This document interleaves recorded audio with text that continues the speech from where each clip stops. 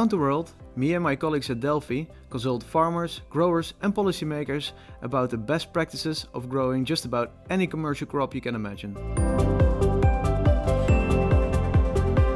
Whether it's potatoes in Africa, cucumbers in Canada or tomatoes in Timbuktu, we use our knowledge to bring growers to the next level and develop new knowledge with our local partners. My name is Joris Mulders and I'm part of the greenhouse vegetable team at Delphy and I'm a tomato cultivation expert. With my background as a grower and a biologist, I help growers interpret plant signals, adjust climate settings and in general define together what the most cost-efficient way is of running a greenhouse business. This involves identifying best practices in dealing with things like changing weather, pests and diseases, or optimal use of light. I visit greenhouses, look at crops, and analyze with growers the information from their climate computers. But this also involves gathering data along the way to exactly find out what these best practices are. And for example, using plant models to optimize growing strategies. With technology rapidly changing, my job as a consultant and a tomato expert will definitely change over time. In five years, data-driven cultivation management will have changed my job completely. In the morning, I could be consulting a big greenhouse in Japan, and in the afternoon, I could be meeting with somebody from North America. But to get a clear picture of our future, we will start at our roots. When Delphy was founded over 25 years ago as DLV, data collection or plant models did not have a prominent role yet. Growers and consultants did operate by experience and gut feeling in those years, and subjective interpretations and speculations served to prevent the most excessive problems. But as time passed, research started to gain more and more knowledge, computer engineers improved on climate computers, and growers became ever more professional. Data became a larger part of my job in consulting to tomato growers. Delphy has its own horticulture research center, the Improvement Center. Because developing our own knowledge is key to keeping our leading role in our field.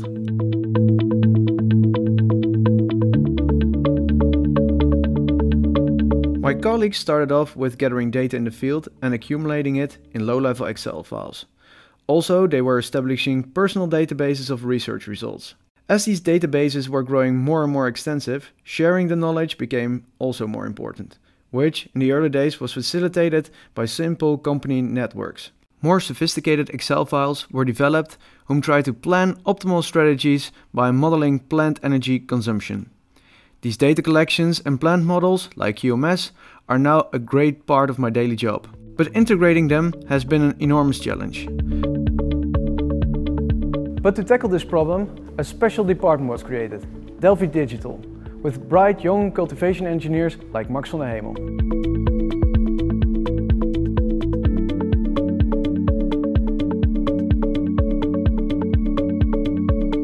My name is uh, Max van den Hemel and I'm working for uh, Delphy Digital as a cultivation engineer at Greenhouse Vegetables. At this moment Delphy Digital consists of uh, six employees and we are based in uh, Bleiswijk, the Netherlands. Delphy Digital uses data from your cultivation to support growers in their strategical, tactical and operational management decisions. And my role is to be the translator in the web of three different aspects in digitalization.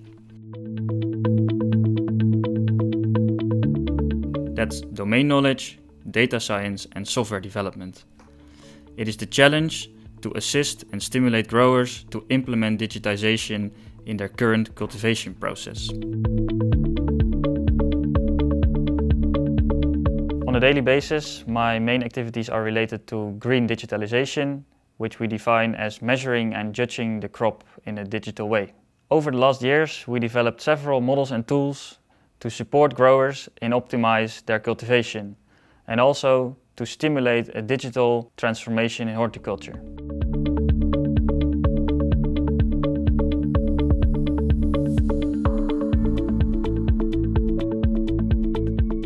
Let me introduce just a few of them. First of all, the backbone in our digital consultancy is the Delphy dashboard. This platform is used to combine all data of your organization in one central place. You can think of climate data, weather forecast, manual measurements, and additional sensors installed in your cultivation. This serves a grower to make decisions based on observations and it gives the opportunity for deeper analysis.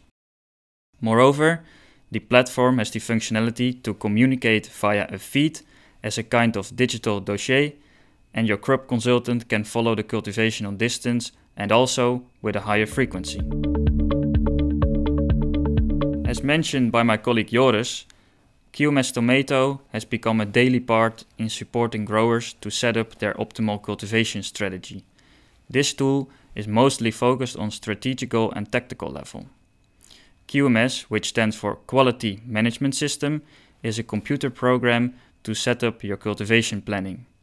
Based on company specific information, for example, greenhouse properties, variety, start and end date, the model will calculate the expected crop development, production and the corresponding light demand. The program offers handles to balance the light availability and light demand to construct the optimal scenario. During the cultivation, the strategy will be updated with realized crop and climate data, which can be used to adjust your strategy for the coming week or weeks. Besides, more related to operational management, the climate profiler is developed. This is a machine learning model that advises on the optimal climate for the coming 24 hours, and it's based on the weather forecast and the daily targets of QMS. This model will optimize the climate every hour, and this tool can be accessed through the Delphy dashboard. Finally, the climate controller will translate the advice of the climate profiler into set points, such as ventilation and heating temperature. These set points can be automatically imported in the climate computer, which will take the necessary actions to adjust the optimal climate. In the Improvement Center, we are running a trial called The Road to Digital Green Fingers. Here we try to get insight in three important plant processes photosynthesis, water uptake, and assimilate partitioning. The goal of this trial is to come up with an integral measurement system as part of the crop management system. Examples of these sensors are load cells to measure the total fresh weight gain of a plant, the sap flow and stem diameter sensor, as well as pointed microclimate sensors. These developments are key for the future due to the decreasing amount of available green knowledge and to make the role of the grower more scalable and robust. All these components integrated together will bring us to autonomous greenhouse management. Stimulated by the results and lessons learned in the Autonomous Greenhouse Challenge organized by the Wageningen University and Tencent, Delphy made steps toward this implementation in practice. In the challenge, multiple multidisciplinary teams demonstrated the capabilities of AI driven greenhouse management. Delphy participated with a team in both editions where the first one was with cucumbers and the second one with tomatoes. In a project in Japan, we demonstrate the principles of autonomous growing in a cucumber cultivation.